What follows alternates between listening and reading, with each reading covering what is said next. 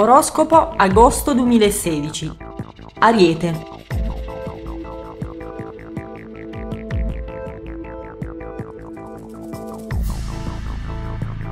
Amore. Ci saranno dei piccoli intoppi in ambito familiare ed affettivo. Il partner non capirà i vostri sbalzi d'umore e nemmeno i vostri parenti riusciranno a dare un senso al vostro comportamento. Non vi approfittate dell'amore altrui, che poi potreste pagarne le conseguenze. Lavoro. Il lavoro vi ha stressato non poco.